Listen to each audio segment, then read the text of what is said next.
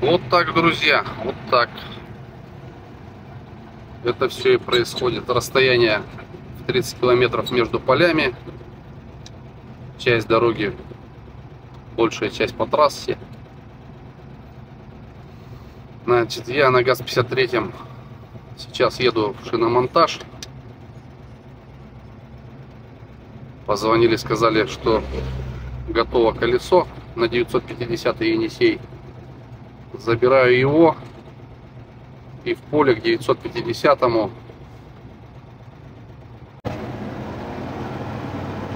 мне сейчас в другую сторону.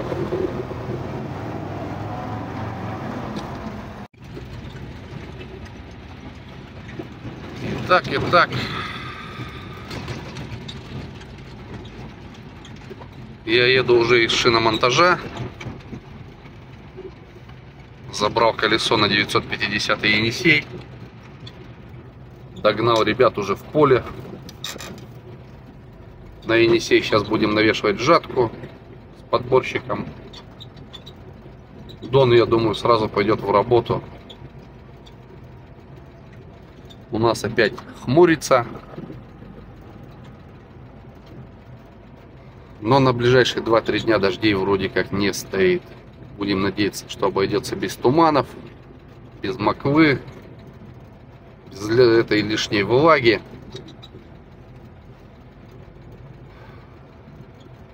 Будем надеяться, что погода еще нас пожалеет и постоит. Так, мы уже на месте. Андрей Сергеевич подборщиком занимается. Дядя Вова подъехал уже, подцепляет жатку. Я, как и говорил, уже на 950 привез колесо из шиномонтажа. Это старая сгоревшая покрышка, которая взорвалась. Это чуть другой конфигурации, чуть уже того на 2 сантиметра, но и цена у него дешевле на 15 тысяч рублей. Думаю, ничего страшного в этих двух сантиметрах не будет. Сейчас будем работать дальше.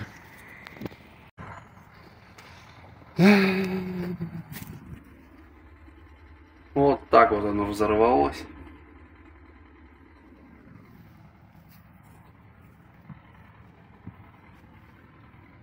Горело.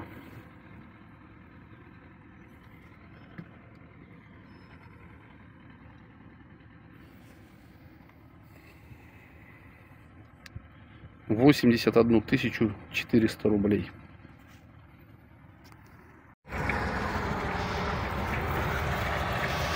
Ну и уже практически на месте. Уже практически на месте.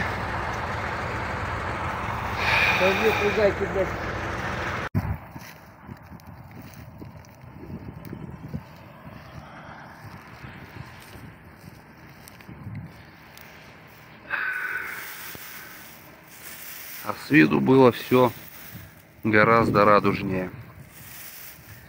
Но как только заходишь в поле, начинаешь смотреть, понимаешь,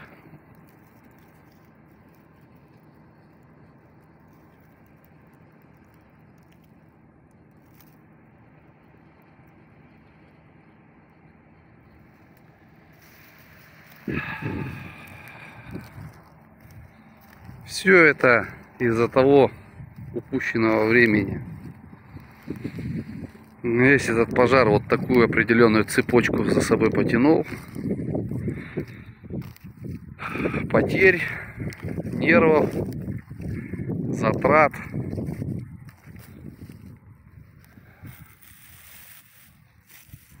Все это уже вот так вот прорастает в волках, зеленью.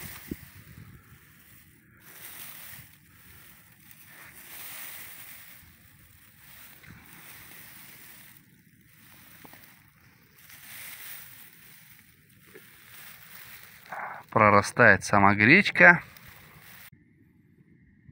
На семена, естественно, это все уже не годится.